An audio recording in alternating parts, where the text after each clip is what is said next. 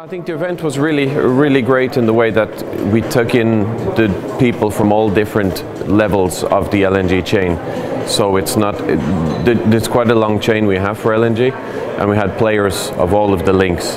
So all together you come together, you bring the message, you hear the messages from the other link, links in the chain, and you get to real good understanding of what are the challenges, what are the possibilities, uh, what's the right way to go forward, and what's maybe not working and in that way it was really good networking opportunity that you get to meet the equipment suppliers, the transporters, the molecule providers, the end customers and, and even the customers of those end customers.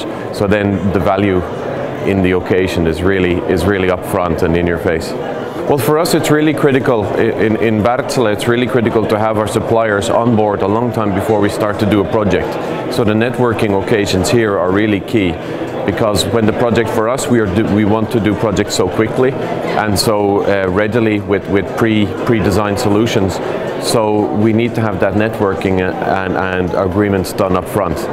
So these occasions are critical for uh, equipment suppliers to come and get to know us and be able to present their products and how they can assist in, in enabling small-scale LNG.